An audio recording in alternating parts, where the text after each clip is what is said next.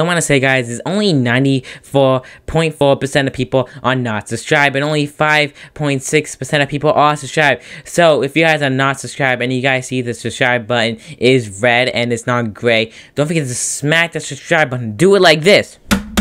Just smack it. Smack it.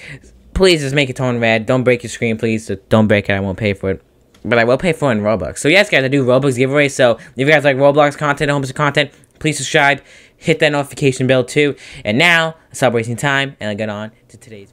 Hey guys, it is me, Lightning here, and today, guys, in this video, we're on to episode 28 of So Cool Roblox News. You want to get weekly Roblox news every Sunday at 1 o'clock, we upload brand new news. So if you like, comment, and subscribe, and that for let's just go on to the news.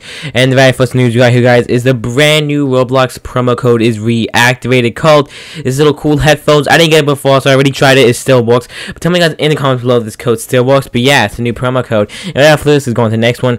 Also, breaking news that Roblox is deleting the game feature. Do you agree with this change? This is on Twitter. So yeah, they're deleting it, and it's extremely sad. But next one, guys, is a brand new limited hat that went limited now. I think this, yeah, it's, it's, a brand new one. I think I don't think this is a new one that just went off sale and went back on sale, but it's called Violet Valkyrie. So just tell me guys in the comments below. It costs around 50 to 100k. I think. I think it costs 50 100 to uh, 50,000. I think. Anyways, got a brand new uh, UGC called uh, Chad School Kid hat. It's extremely weird hat. I'm never gonna get it, but you can tell me guys in the comments below if you want to get it. Also got a couple of new, brand new Roblox Halloween stuff. Definitely looks amazing. Just look at all these items, and you'll be suppressed, uh, surprised of how amazing they all look. Anyways, guys, thanks for me for this video, guys. Hope you like, and subscribe, and I'll see you all in the next video, guys. Good.